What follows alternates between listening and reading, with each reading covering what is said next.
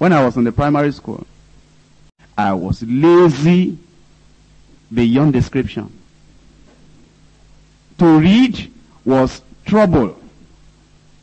I, I knew how to play. How to read, I didn't know. I didn't understand life or education or anything. I mean, people were going to school, I was sent to school, I went to school, finished. But 1960, in class 4, we were on holidays. I waited behind. Then I sat down and said, look at my age now. And school cert is coming next year. Am I going to live my life like this? So I just changed. During that time, I took the notes of all the others in biology, in chemistry, in physics, and all the other notes they have been writing. I sat down, I wrote everything. I said, now I am going to make this thing. But that class four, I sat down, I said, this thing that is causing failure, I'm going to rectify it. Nobody talked to me. In fact, they didn't know that I'll ever make anything. I just decided, I didn't even know the reason. I, it wasn't because, well, being the firstborn of my father, not, no, I didn't even think of that. Being uh, this or being, I didn't think, it's just that, ah, ah, since primary school. Why am I like this? And I said, this year, school cert is coming, I'm going to do something. All the other students will say, ah, and say, Kumuyi, A1, A1, A1. Because I wrote, everybody can say, I just wrote everything down there.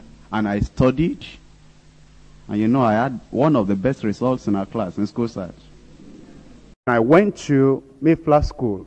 In Mayflower School, because uh, we were the second set, the first set started in 1956. We came in in 1957. When we came in, no dormitory. When we came in, we didn't have all the things that we needed. Therefore, our beds were put at the veranda of the classroom, all lined about. And they are double-decker. And the veranda is a little bit high. So if you fall from even the veranda, you can break your leg. If you fall from the double-decker bed to the veranda, then to the ground, you'll get to the hospital. So at that very young age, we were taught about discipline, about consecration, and about commitment. I went to University of Ibadan. From University of Ibadan, all through like that, by the time I will come out, I had the best result in the whole university. But that's because 1960, I sat down, I said, this failure that has been following me from primary school up to this point, I'm breaking it. I wasn't a Christian. I wasn't born again. I just said, this one, it will not continue. I'm breaking this one. You should break failure in your life. You'll be surprised that, you know, when I came in in year one, uh, because I didn't go to what we called HSC then, and I didn't do all the subjects I should have done, because I was a kind of a self-made student myself. After secondary school, I just started preparing for GCA level. And all I could do was mathematics, the physics I couldn't do. And when I went to university, they, they accepted me for mass, mass uh, geology. But it was at the point of registration that the fellow looked at my papers and I said, no, you won't do geology, you'll do physics. I said, is that so? He said, yes. And so he went around and changed everything. And I did, I knew next to nothing on these physics at that level. And there was a young man in that class that took interest in me. If we were to perform any experiment, he will say, this is how they do it.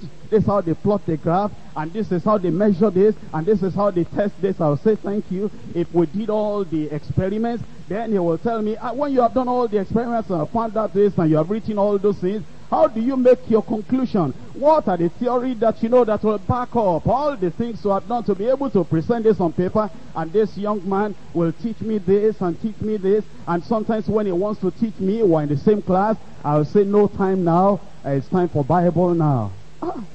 and he'll say, uh, what's the matter with you? I'm trying to help you. You won't be able to make it. I said I will make it. Just uh, when I have time, I'll send for you. And after studying Bible, I have to read the Pilgrim's Progress. I had a timetable. Then I had to study the theory of music. I had to, you know, practice the organ. I had to do this and that. And the fellow said, you will not make this thing. You know that I left him at university because even though he was teaching me, he didn't make it, I made it.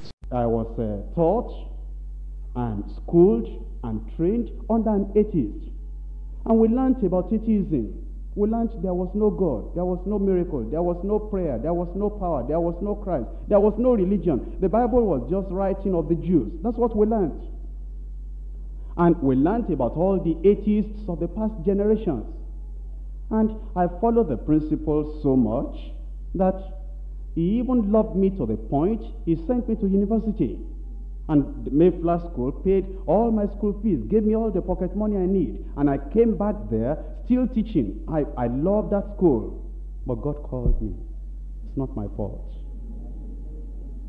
And all the things that they taught us before, I began to see they are not true, that there is God.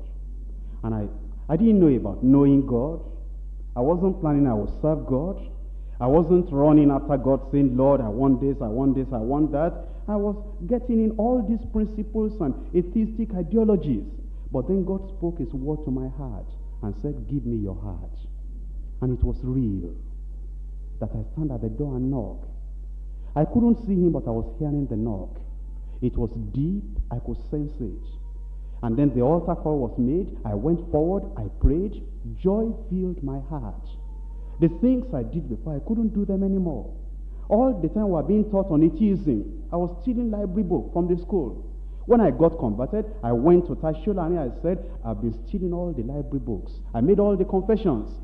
And he looked at me and said, You have always been one of my good boys. I said, Yes, but good boy did not really make it. I was still stealing and doing things that were wrong. He saw that a change came over my life. All my other friends at school, they said it will soon be over. They gave me two weeks. That all those things will be over. More, almost 25 years have come and gone. It's not over yet. And I still love the Lord. In this country and in this life, the Lord has called me that I will preach the sanctification and the holiness. Because that's my very vision, that's my very life, that's my very calling. Give me holiness and take the rest of the things away. And so when I became a lecturer at the University of Lagos, 1973 August, I decided that, well, if there were only just a few people that wanted this word of God, I think it's good for us to just get together and study the Bible. And for all those years, I was able to get 15 people that said they wanted the Bible. And so we decided August 3rd, 1973, we'll come together and study the Bible. And then as we study the Bible on holiness, on evangelism, on a totality of the revelation of the Word of God, these people were like babes. And they were willing to study the Word of God. And they started coming and started coming. Challenges have come on the way. And some of the people have confronted me and they have said, this will not last. I had a particular man that came to me and he said he was prophesying. He said everybody has spoken to me that this holiness is not possible, sanctification is not possible, that is not possible, and therefore now he came with a prophecy. And he came to my house and I, you know, I said, uh, come in. I didn't know what he was coming for. And then when he uh, sat down, he greeted me and then he became serious like an Old Testament prophet. And uh, then he said that I came to you from the Lord. Oh, I said, is that so? And then he began to say that because you have not accepted to change, because of this, because of that, this thing is going to break, and then nobody will follow anymore, and this and that. And when he said that, I said, well, do you know something? If everybody left and I was the only one remaining, that was going to stand on holiness without which no man shall see the Lord. He looked up at me very bold and, you know, very, very firm. And he said, that you have said is the confirmation of the word of prophecy I brought. Everybody is going to live and this a deeper life will not uh, remain because you stand alone on this holiness and everybody says we disagree and you're still continuing. Well, I want to tell you, that person that said that is nowhere to be found today. But you know, the word of God has remained. And eventually, I discovered the power of the Holy Ghost.